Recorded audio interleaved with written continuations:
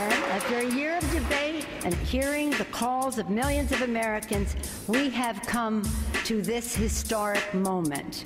Today, we have the opportunity to complete the great unfinished business of our society and pass health insurance reform for all Americans that is a right and not a privilege.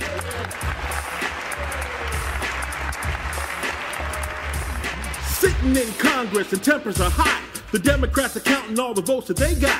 Republicans are hating, debating on the issue. Later in the night, they were crying in their tissues. We all know where Obama stands. He wants health care for everyone in the land. He promised it to us and deliver he must for all the families suffering who need it so much. The ballots were cast, and finally, at last, 219 in favor. The bill got passed. All the Republicans had a fit. John Boehner walked out mad as shit. The health reform bill passed the House. The health reform bill passed the House. The health reform bill passed the House.